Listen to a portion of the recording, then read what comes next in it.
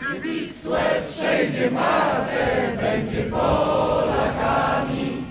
Dał nam przyjaciół